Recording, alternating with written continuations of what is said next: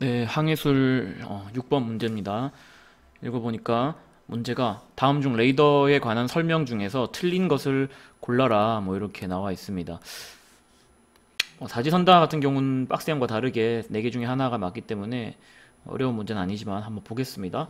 자, 먼저 선박용 레이더 통상 사용되는 주파수 어, 3에서 10GHz라고 돼 있는데요.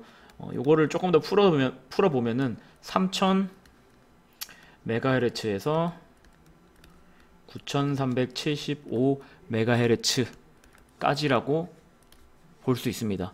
그래서 얘가 아 뭐 여기서부터 여기까지다라고 말하는 거는 맞지 않고 얘가 3, 3000 MHz가 S밴드 레이더의 주파수에 속하고요. 그 다음에 이9375 MHz가 X밴드 레이더의 주파수라고 보면 되겠습니다.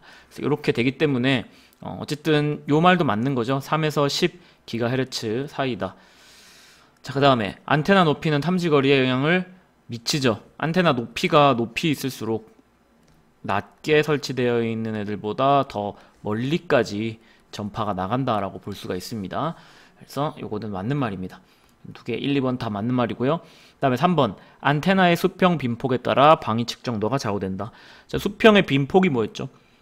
우리가 선박을 위에서 하늘에서 바라본다고 했을 때 어, 스캐너가 회전을 하면서 주변으로 이렇게 전파를 쭉 삥 돌리는 거란 말이에요. 그 말하자면 이런 빔을 쏴가지고 이 빔이 회전하면서 물표를 스캔해내는 거예요. 이렇게 쓱 훑고 지나가면은 레이더 화면에 찍히게 되는 건데 이 수평의 빔의 폭의 절반만큼이 레이더 화면상에는 늘어납니다. 왜 그러냐면 빔이 이렇게 지나가죠. 물표를 끌고요.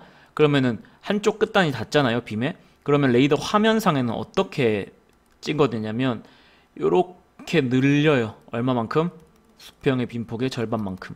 그리고 얘가 쭉 또 스캔을 합니다. 스캔을 하다가 이제 반대쪽에서 빠져나갈 거 아니에요. 이렇게. 그러면 또 반대쪽으로 늘립니다. 그래서 결국 화면은 어떻게 되냐면 실제로는 요만했었는데 이렇게 늘어나는 거예요. 어떻게? 양 끝단이 수평 빈폭의 절반만큼 늘어나게 된다. 어쨌든 요거는 뭐 맞는 말이 되겠죠. 다음에 CRT의 잔광 특, 성은 영상의 선명도와는 관계가 없다라고 되어 있는데 관계가 없지 않습니다. 이 잔광 특성이라는 건 뭐냐면 어떤 물표가 있었어요. 레이더 화면상에 물표가 찍혔는데 어, 여기가 본선이라고 했을 때 이 물표가 계속 움직인다고 가정을 해보겠습니다. 얘가 여기로 이렇게 이동을 했습니다. 이동을 했는데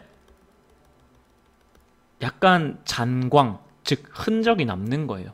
부드럽게 진짜 오늘날에 사용하는 뭐 디지털 LED 컴퓨터 모니터처럼 막 물건 물표가 움직이는 게 아니라 얘가 이렇게 이동을 했는데 잔광이 남아 있는다거나 하는 경우가 있습니다. 자, 이렇게 되면은 아무래도 정확한 판단은 어려워지겠죠. 선명도가 좀 떨어진다라고 볼 수가 있어요. 뭐 때문에? 잔광 특성 때문에.